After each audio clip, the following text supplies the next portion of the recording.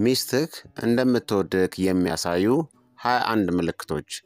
ግንኙነቶች ከባድ ናቸው፣ እናም አልፎ አልፎ ሁላችንም ትንሽ ማረጋገጫ እንፈልጋለን። ሚስትህ እንደምትወድህ መቶ በመቶ እርግጠኛ አለመሆን በጣም የሚያናድድ ሊሆን ይችላል። ሁሉም ሰው ፍቅርን በተመሳሳይ መንገድ አይገልጽም፣ ግን ሰዎች ለሚወዱት ሰው የሚያደርጓቸው የዕለት ተዕለት ነገሮች አሉ። ሚስትህ አብዛኛዎቹን የምታደርግ ከሆነ አሁንም ከአንተ ጋር ፍቅር አላት ማለት ነው። በዚህ ቪዲዮ ላይ ሚስትህ እንደምትወድ የሚገልጹ 21 ምልክቶችን እንመለከታለን።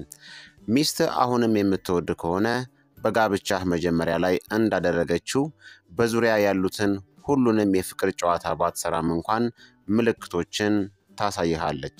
ፍቅሯን በድርጊቶቿ እናም በምልክቶቿ እየገለጸች ትገልጽልሃለች። ያም ሆነ ይህ ሚስትህ የምትወዳቸውን ምልክቶች ለማንበብ መማር ይኖርብሃል። ስለዚህ እነዚህን 21 ምልክቶችን የምታስተውል ከሆነ ሚስትህ አሁንም ትወድሃለች ማለት ነው። አንደኛ ሚስትህ እወድሃለሁ ትልሃለች። ሚስትህ አሁንም ዓይንህን እያየች እወድሃለሁ ካለች በእርግጥ ትወድሃለች። ይህ በእርግጠኝነት ሚስትህ እንደምትወድህ ከሚገልጹ ምልክቶች ውስጥ አንዱ ነው። ሁለተኛ ፍቅርን ታሳይሃለች። የቱንም ያክል በትዳር ውስጥ ብትቆዩ ወይም ሕይወት የቱንም ያክል ቢከብድ ሚስትህ አንተን ከወደደችህ ስውር የፍቅር ምልክቶችን ታሳይሃለች። በተጨማሪም በጥናቱ ላይም እንደተገለጸው ፍቅራችሁን ለማሳየት እናም ለትዳር ጓደኛችሁ እንክብካቤ ለማድረግ ትናንሽ ነገሮችን ማድረግ ትዳራችሁን ደስተኛና ጤናማ ለማድረግ ትልቅ መንገድ ነው።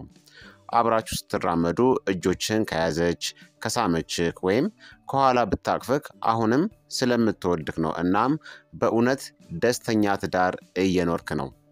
ሶስተኛ ታጋሽ ነች። አንተ የእሷ ብቻ እንደሆንክ ታውቃለች። እናም ድክመቶችህን በትዕግስት ታስተናግዳለች።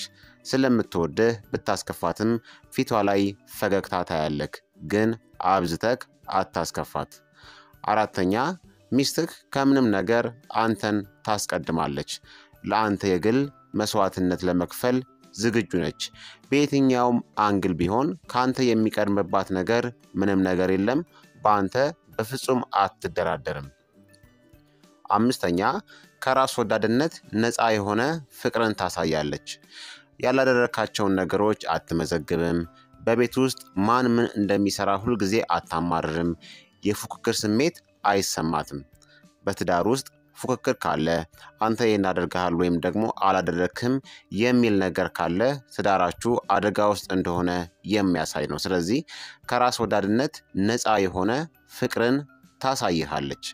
ስድስተኛ ትነካካሃለች። አካላዊ ንክኪ የግድ ወሲብ ብቻ መሆን የለበትም። ሚስትህ ከአንተ ጋር መሳሳም ከወደደች ደጋግማ ብትስምህ፣ ከስራ በኋላ ስትገባ ብታቅፍክ ሚስትህ አሁንም እንደምትወድህ ማሳያ ነው። ሰባተኛ ህልሞችህ ህልሞቿ ናቸው።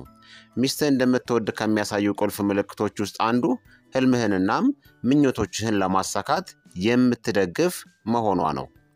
ስምንተኛ በፍጹም አትሰልልህም።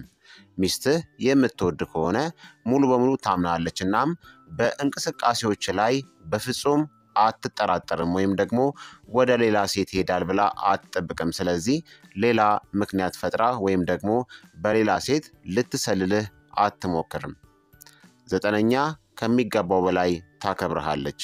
በአንተ በጣም ትኮራለች እናም ስለ አንተ ከፍ ከፍ አድርጋ ትናገራለች። ጓደኞቿ ወይም ደግሞ ቤተሰቦቿ በማንኛውም መንገድ ሊሰርቡክ ወይም ደግሞ ሊንቁህ ቢሞክሩ ለአንተ ትቆማለች። ስለዚህ ካከበረችክ ሚስትህ እንደምትወድክ ከማይካዱ ምልክቶች ውስጥ አንዱ ነው። አስራ አንደኛ ፍላጎቶችህን ለማሟላት ትሞክራለች። ያንተን ስሜታዊ ፍላጎት ለማሟላት እንዲሁም አካላዊ ፍላጎቶችንም ለማሟላት ትጥራለች። እንደሚያስፈልግህ ሳትገነዘብ እንኳን እሷ ነገሮችን ታደርግልሃለች። አስራ አንደኛ በዙሪያክ መሆን ትወዳለች። ከአንተ ጋር አንድ ለአንድ ጊዜ የምታሳልፉበትን መንገዶች ትፈልጋለች።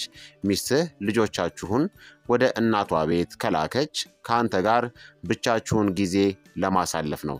አሁንም እንደምትወድ ከሚያሳዩ ምልክቶች ውስጥ አንዱ ነው።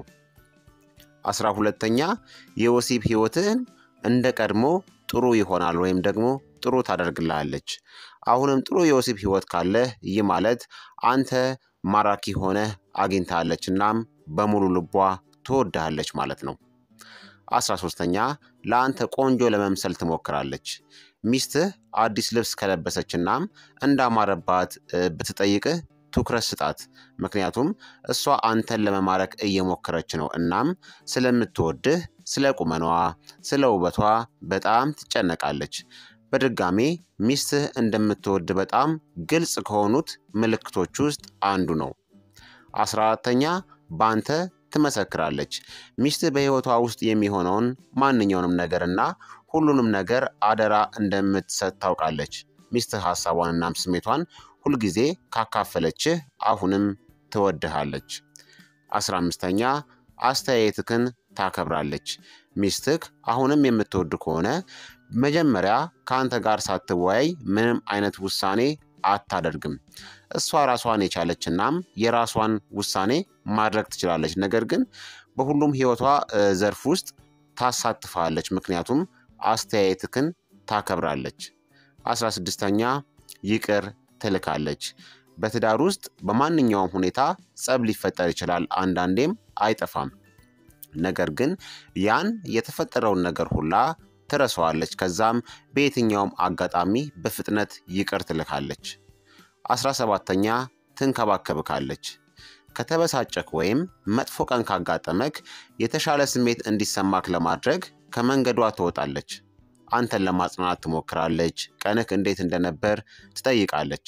ሙሉ በሙሉ ደክሞህ ከስራ የምትመጣባቸው ቀናትን ልታበረታታ ትሞክራለች። የምትወደው ምግብ ትሰራልሃለች። አስራ ስምንተኛ ታደንቅካለች።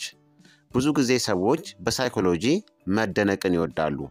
ጥሩ ነገር ባደረክላት ቁጥር ጥረታችሁን ከልብ የምታደንቅ ከሆነ ሚስትክ ትወድሃለች ማለት ነው። አስራ ዘጠነኛ የምሽት ፕሮግራሞችን ታዘጋጃለች። ከማግባት በፊት እንዳደረገችው ሁሉ እሷም ከአንተ ጋር በመዝናኛ መውጣት ትፈልጋለች ከተጋባችሁ በኋላም። እነዚህ ምልክቶች በፍጹም ችላ አትበልናም ስሜቷን በፍቅር ለመመለስ ሞክር። ሀያኛ ፍላጎትህን አክብራ አብራክ ትጓዛለች። ለምሳሌ አንተ ኳስ ወደክ እሷ ባትወድም ከአንተ ጋር በእግር ኳስ ማያ ውስጥ ከተቀመጠች ስለምትወድህ ነው። ለፍላጎቶችህ አክብሮት ታሳያለች። እሷ ምንም ለአንድ ነገር ፍቅር ባይኖራትም እንኳን አንተ ለምትወደው ነገር አብራክ ትጓዛለች። ፍላጎትህን አክብራ አብራክ ትሄዳለች። ሀያ አንደኛ ጤናማ እንድትሆን ታበረታታካለች። ጤናክን እንድትንከባከብ ታደርጋለች።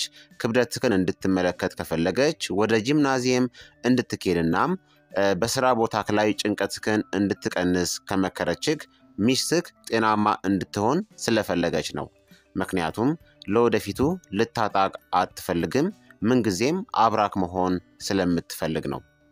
ስለዚህ ተመልካቾቼ እነዚህን ምልክቶች ካስተዋላችሁ ሚስታችሁ ምንጊዜም ከሚገባው በላይ ትወዳችኋለች። ስለዚህ ደስተኛን ትዳር እየኖራችሁ እንደሆነ ማወቅ አለባችሁ። የዛሬው እንግዲህ ትምህርታዊ የሆነ ከትዳር ጋር የተያያዘ ትምህርታችን ይህንን ይመስል ነበር። ማንኛውንም ነገር ደግሞ ከዚህ content ጋርም ሆነ ከጤናችሁ content ጋር አንዳንድ ጥያቄዎችን መጠየቅ ከፈለጋችሁ በ descri በ comment box ላይ ማስፈር ትችላላችሁ። ዶክተር ዮሐንስ ነበርኩኝ። ቸር ሰንብቱ።